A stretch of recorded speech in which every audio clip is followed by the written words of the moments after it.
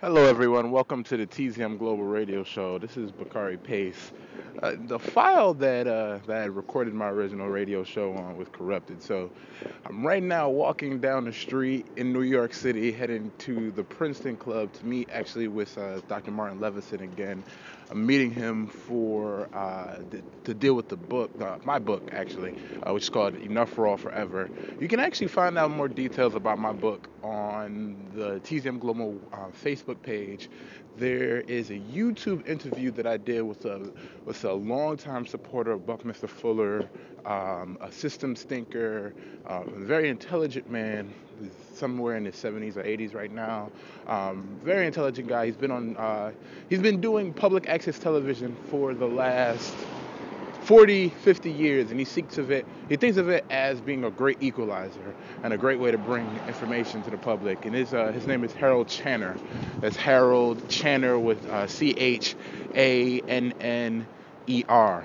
Um, so, Harold Channer, which is a big, big fan of Buckminster Fuller, invited me to the show we actually did uh, an hour long interview. And in that interview, you can hear a lot of stuff that I think is very, very important for people to know. And also, it'll be stuff that you can uh, reach out and learn more about by simply going inside of the book when it's finished, uh, which should be finished by about the end of the year.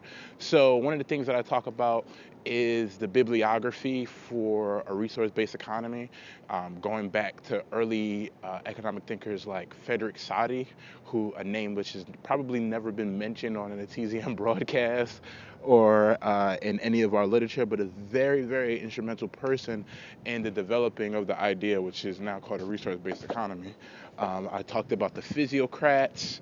Um, these are very early, early thinkers about how we connect our economic process to principles of sustainability, such as thermodynamic principles um, and uh, ecological principles.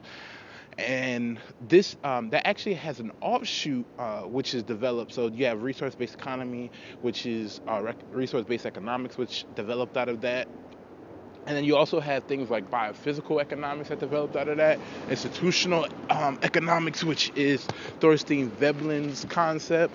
You have uh, what's that? We say you have biophysical economics, which is a very important school of thought. If you want to learn more about that, you can Google that and look for a professor. His name is Charles Hall.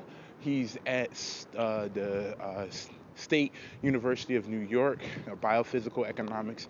If you get a chance to listen to his lecture, you'll hear uh, just an overwhelming amount of parallel in terms of what resource-based economics is and what biophysical economics is.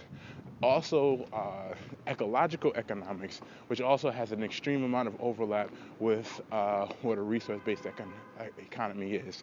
Uh, many of these uh, still deal with price systems, of course, but um, understand that many of these structures, uh, many of these institutions, these schools are realizing that to make a dramatic shift um, outside of the price system, which is what is called for without a doubt, um, it's still also important to realize that transitional steps are necessary.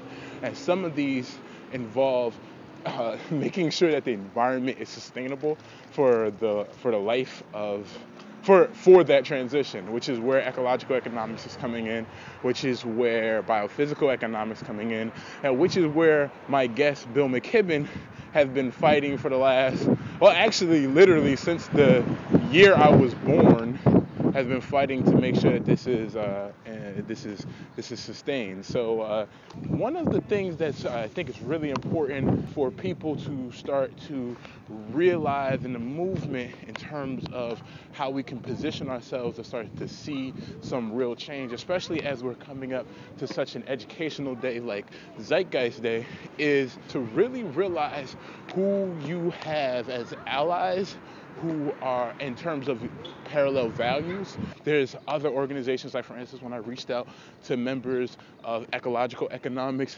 uh, as I'm reaching out to people in the biophysical economic structures, these uh, institutions share values with me, so I'm able to uh, have a have a coherent conversation.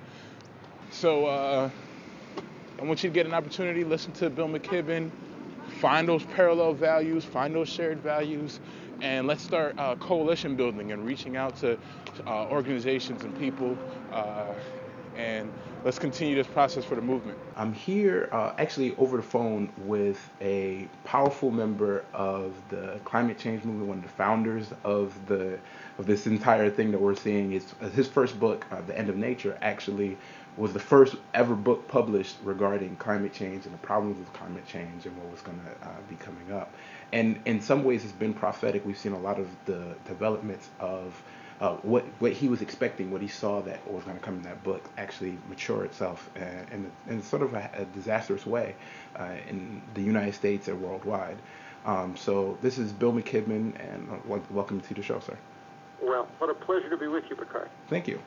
Um, so I wanted to talk to you a little bit about what your biography is. Uh, some uh, introduce how did you become aware of the climate change problems? Have you always been an environmentalist? Uh, what brought you into it?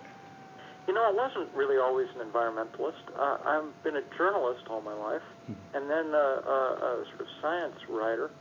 And when I was still a fairly young man, uh, in my late 20s, uh, which would have been in the late 1980s, I wrote this book, The End of Nature, which, mm-hmm. as you say, was the first account for a general audience of, of what we then called the greenhouse effect and what we now call global warming or climate change. Mm-hmm. And, you know, I, as a reporter and a writer, I kind of realized that this was the most important story of our time. And, and so I stuck with it. This is by far the biggest thing that human beings have ever done, you know, uh, uh, alter the atmosphere in such a way that the climate is changing. Hmm. And so having written that book, I, I kept working on it. But then at a certain point, um, I noticed that we weren't changing as quickly as we needed to change. So I also kind of branched out into more sort of activism, and, mm-hmm. and really that's what I spend an awful lot of my time on now. Um, in your activism, were was that in the, in the, in an early part of your decision to get towards the environmentalist movement? Like, was that was that in the founding? Did you see activism as being the way no, that you would see change? No, it didn't come right away for me. Okay. Uh, I thought my job was to write about these things, mm-hmm. and that people would read my books, and then they'd change, and we'd be all set. Mm-hmm. Um, but it turns out that's not really how it works. I mean, a lot of people did read my books, but it's hard to change because the structures and systems that we have uh, make change hard. And in particular, you know, the, the fossil fuel industry is so rich mm-hmm. and so able to influence our political life that they've been able to keep those structures from changing. Mm-hmm. They're the only industry that's allowed to pour their waste out for free. They can just put the carbon into the atmosphere with no price. And that's why it's so hard for things like sun and wind and whatever to, to get a level playing field. So, um, some years ago, really, I think after a, a trip to uh, Bangladesh, where I watched a lot of people dying from dengue fever, the very rapidly spreading mosquito-borne disease that's mm. you know caused by our, our warmer, wetter world. As I watched that, I, I began to um, I began to think it was time to do more than write, and came back home and working mostly with young people, almost entirely with young people started what became this group 350.org, the biggest uh, climate change campaign in the world. Uh, it takes its strange name from uh, what the scientists tell us is the most carbon dioxide we could safely have in the atmosphere without overheating, 350 parts per million, which is a, a number sadly we're already well past. It's about 395 parts per million. Wow in the atmosphere now, and that's why you know the Arctic is melting. It's why America just had its hottest year ever. It's why sea levels are rising. Um, it's why we're in uh, a, a world of hurt. And uh, you know, we took that name. It's not the 350.org, not the most dynamic name in the world, but we took it because we knew we wanted to work globally. Mm-hmm. And so we figured numbers were better than words for mm-hmm. crossing. You know, Arabic numerals work pretty much everywhere. Mm-hmm. And so we, uh, that's what we've done. Um, and we actually have worked everywhere. Uh, uh, every country except North Korea now. I think we've held about 20,000 demonstrations in 191 countries. Mm-hmm. See, uh, one of the fascinating things about 350 is that it's global. It's not something that's been sort of isolated to America. And you know, you get a lot of people when we think about environmentalism or we think about the, the, the consequences of climate change, um, and when we think about the people who are pro- who are promoting this, it's mostly what colloquially people say rich white people that are concerned about this. But that's not really been the case, especially when you look at 350.org. No, oddly, we, I mean, I spent my life having people tell me that environmentalism was just something that rich white people did when they had no other problems to deal with. Mm-hmm. if you worried where your next meal was coming from, you wouldn't be an environmentalist and things. The minute that we um, set to work on our first global day of action, uh, when we had 5,200 demonstrations in 181 countries, as people sent in pictures by the thousands to our Flickr account, we quickly realized that most of the people that we were working with around the world were poor and black and brown and Asian and young, mm-hmm. which shouldn't have come as a huge surprise because that's what most of the world is made up of, you mm-hmm. know. Mm-hmm. And and what do you know? They're every bit as worried about the future as anybody else, maybe more so because in a lot of those places, the future bears down pretty hard on you. I mean, I'm sitting here right now in my office just looking at a poster of the first demonstration from that uh, first big day of action in Addis Ababa in Ethiopia, where our organizers were a 18-year-old girl and her 17-year-old sister, and they organized 15,000 young people out into the streets of Addis Ababa, uh, you know, to chant 350 and demand action on climate change in that drought-stricken country. That's this is actually pretty fascinating for me just to hear how activism has been taking root in other places. The Zeitgeist Movement identifies itself as an activist organization and has been taking its stance um, primarily in an intellectual sphere. But there is um, an importance, especially when you're dealing with structures um, that are financially backed, well financially backed, um, to see groundwork action, groundwork happen. How did how did 350 develop its groundwork action plan? How did it become such an active, active well, activist organization? You know, we just we didn't know we couldn't, so we just went out and did. Mm-hmm. Um, we found people all over the world. In most parts of the world, there may not be a sort of category called environmentalist. Yeah. But there's always someone who's working on hunger and development and war and peace and women's rights and really all the things that you can't much have on a on a degrading planet. So those were our natural allies, and, and we found them everywhere. And uh, our kind of activism is very, I think you would call it open source activism. Mm. We're very open to the idea that there should be, everybody should get to play a role, you know. Um, and we have very, uh, you know, we, we don't worry about uh, unbelievable detail, uh, but, but we're very proud of the fact that all over the world, people have no trouble understanding the science. I mm-hmm. mean, the, that 350 number, uh, uh, you don't have to know absolutely everything. You have to know that that's how much we could safely have, and we have more. And that's not, you know, a very difficult concept, and people around the world understand it. Can you talk a little bit about what the science of climate change is, what has been proven, and not just sure. the science, but also the history of it? So there was an origin story for people who woke up and said, "There's a problem here." So really, people have the, the, the very first scientists to worry about climate change did so at the end of the 19th century.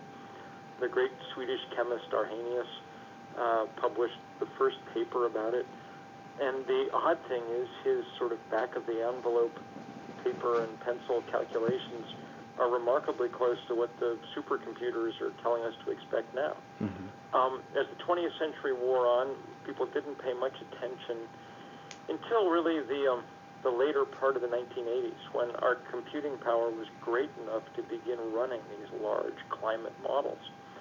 And as those models ran, they started predicting pretty dire things.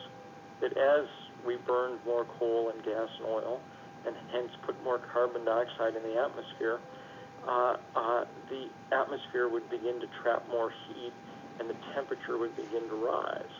And that's exactly what's happened. So far, human beings have increased the temperature of the Earth about one degree Celsius, which doesn't sound like that much, but it's actually a lot. It's enough, as I say, to have melted the Arctic The oceans are 30% more acidic. The atmosphere is about 5% wetter because warm air holds more water vapor than cold. Mm-hmm. And that's why flood and drought is on the increase. Mm-hmm. And of course, the dangerous part, Bakari, is that um, that one degree, the same scientists who told us that would happen correctly mm-hmm. now tell us that unless we get our act together very fast, that one degree will be four or five degrees before this century is out. And if that happens, I, you know, most predictions are that we really won't be able to have civilizations like the one we have now. Mm-hmm. So this is this is the biggest test human beings have run into, and it will be interesting mm-hmm. uh, to see if we're able to rise to it or not. A lot of the opponents of climate change, some of them come from an economic standpoint. And they say, hey, and, and, and I guess to some degree, sort of a moral standpoint, I guess. And they say, hey, the United States has been um, developing and they've gotten all the way till they got to this point where they were a superpower XYZ and now they're looking at the developed nations and saying, "Hey, you guys can't develop off of the use of oil." What is what is what is the the pop, what is the proper um, response to that type of sure. question? Because it's a very fair point for the Chinese and the Indians and whatever to be making. Mm-hmm. It's not fair to us to just of us to just say, well, we filled the atmosphere with carbon now you go find something else. Mm-hmm.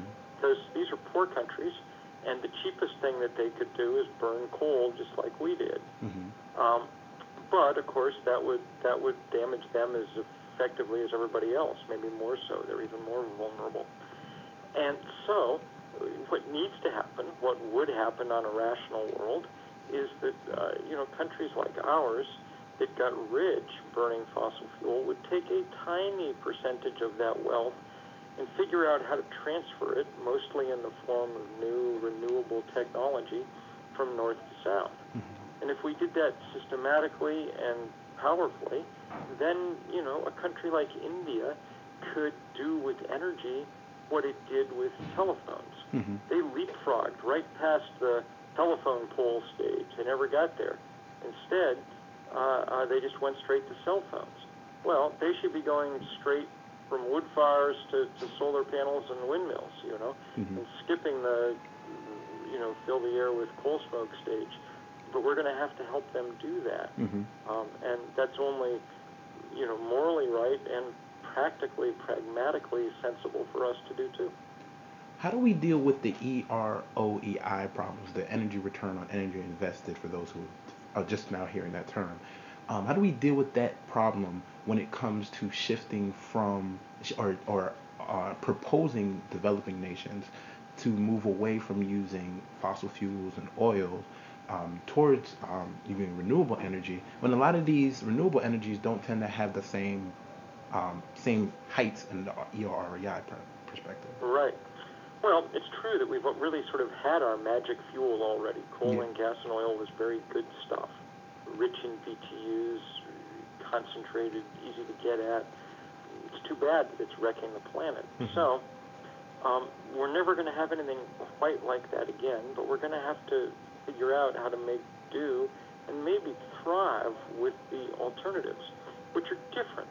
So when you're using the sun and the wind, you're right. You want to be much more careful about how much you're using. You know, you want to, efficiency and conservation become very important. But we could do a far better job with those things than we do. And then, uh, you know, there are great advantages to using these things too. Uh, instead of the kind of centralized model that we have under fossil fuel, where we have a few big power plants with, you know, lines running out to everybody's house, instead, it's more like the internet. Everybody's got a solar panel on their roof. They're all tied into the grid you know, uh, uh, uh, and hence we have a kind of farmer's market in electrons, everybody putting in, everybody taking out. Mm. It's a different model, but a much more democratic one in the end, mm. and, um, you know, clearly much more stable since it doesn't overload the atmosphere with carbon. Mm. Can you talk a bit more about the benefits of alternative energy, especially for those who are um, those who are concerned about that, but also are concerned about the a dramatic shift from that from that oil based from an oil based coal based economy, even within the United States. Sure, I mean it won't be it won't be easy. It'll be one of the harder things we've ever had to do because fossil fuel is so dominant in our uh, ways of life. But, you know, as someone who lives in a solar-powered house, I can tell you that it's not all that uh, different from what we're used to. Mm-hmm. Um, and and as we get better at it, and as the grid spreads out more and things, it, well, it won't be very different at all in certain ways from what we're used to doing. As long as we're really careful about conservation and efficiency, we should still be able to be mobile and to you know have warm homes and and and things you know refrigerators and things that we um, value rightly. Does alternative energy mean that there is a decrease in the standard of living that happens for the global, for the entire population of the world, or in, more specifically, even for American citizens? No, I, I think global warming means that there's a decrease in the standard of living if yes. we don't arrest it mm-hmm. very, very quickly. Nicholas Stern, the British economist, uh, one systematic study of the economic effects of climate change, that it'd be greater than the combined effects of World War One, World War Two, and the Great Depression. Um, uh, you know, it could be taking 20% of the GDP by century's end. Uh, these are numbers so staggering you can't even quite begin to comprehend them. Mm-hmm. Um, um, uh, the most financially and economically foolish thing we could possibly do is let the planet degrade um, because it's a source of enormous wealth. think of all the services that a working planet provides us, you know. Mm-hmm. Um, um, and think of the uh, economic upside of using uh, sun or wind. I mean, once you put up the solar panel, uh, the rest is free. Uh, mm-hmm. Exxon hasn't figured out a way to meter the sun yet, you know. Mm-hmm. So you, you get to enjoy it. Uh, uh, uh, I, I like watching my electric meter run the wrong way. Mm. That's very fair. I wanted to talk a bit about your book, Deep Economy. That was a very fascinating book. Can you talk a little bit about how you developed that book and what were some of the questions that you wanted people to start um, to ask after reading that book? Sure. Um, so, really, I started that book because I came across an interesting piece of survey research. And it showed that uh, uh Americans, they, they've asked Americans every year since the end of World War II, are you happy with your life? And the percentage of Americans who said, I'm very happy with my life, peaked in 1956, mm. and it's gone downhill ever since. Now, uh, that intrigued me because, of course, our standard of living has almost tripled in that time. So, you know, if the world worked the way economists said it did, then we should be somewhat happier. Um, that we're not was a kind of interesting problem for me. And and the best explanations that we can find, the place the statistics point us, is that while we've gained in possessions, we've lost dramatically in the number of sort of connections with other people that we have. Hmm. Uh, as we say, suburbanized our country and moved into big houses farther apart from each other, we just ran into each other less often. The average American has half as many close friends as the average American of 50 years ago. That's a very big change for, for us to undergo, mm-hmm. and I think explains a good deal of that dissatisfaction. So in Deep Economy, I tried to think about ways that were both environmentally sound and would start to rebuild community a little bit. I think the classic example probably is the farmer's market which is the you know the fastest growing part of our food economy. Mm-hmm. Um, um, the farmers market's ecologically sound. The five mile tomato makes more sense than the 5,000 mile tomato, but it's also a different social experience. Mm-hmm. Uh, sociologists you talk more in shoppers there. Yeah. first first around the supermarket and then around the farmers market, and and they found that on average the shopper at the farmers market had 10 times as many conversations per visit. Mm-hmm. Not 10% more, 10 times more. Um, it's a whole different, you know, world, and and and and a much, in many ways, a much more pleasant one. So, uh, a part of deep economy really is about the need and the desire to begin to substitute community for consumption in certain ways. Mm-hmm. And uh, you know, we're beginning to see some of that happen. The the number of local farmers markets and things has grown so much that the United States Department of Agriculture says for the first time in 150 years, the number of farms in this country is increasing, not decreasing. Mm-hmm. We're beginning to see some good movement in these directions. Let's talk a little bit about consumption because I think consumption really defines this problem that we're seeing in American culture, but also really worldwide. It seems to me when I look at the history books that there was a time when efficiency and um, and and and thrift was very dominant as a as a value in the United States and and probably worldwide as well. I haven't looked into the literature as, as much, but I know in the United States that was that was accurate. But something flipped, and and now we're dealing with a consumption oriented society. What are the ramifications for that, and how do we start to curb that? Um, well, I think uh, you know, I think our um, I think that our society has become a sort of high consumer society. And part of the problem is that we lose our sort of skills at community after a while. We get, you know, we sort of tend to isolate ourselves more and more and more. Uh, uh, spend more and more of the day looking at screens and whatever. And so anything that begins to break that down is really good. I don't think it does any good to kind of preach about community, but I do think it might do some good to uh, uh, put up institutions like farmers markets that bring people out. Hmm. The other thing that would curb consumption, of course, to some degree, would be if we put, uh, if we made the price of fossil fuel reflect the damage that that carbon is doing in the atmosphere. Hmm. And if we did that, then we would uh, uh, find ourselves changing our consumption patterns away from high energy items and things and in more benign directions. Hmm. What effect does does the war industry have on this level of consumption as well? Because it seems to me all of these factors are interrelated. There doesn't seem to me anything that's that can be isolated in this. Yeah, uh, they are very interrelated. Uh, I mean, it's funny that Defense Department's the biggest user of energy on Earth. Yeah. And of course, if you look at the places where we tend to have our wars, they're often places with a lot of uh, uh, energy uh, uh, that we're trying to protect. I remember in the early days of the Iraq War going to a demonstration where someone had a sign that said, uh, "How did all our oil end up under their sand?" Mm. Um, mm. So that's right.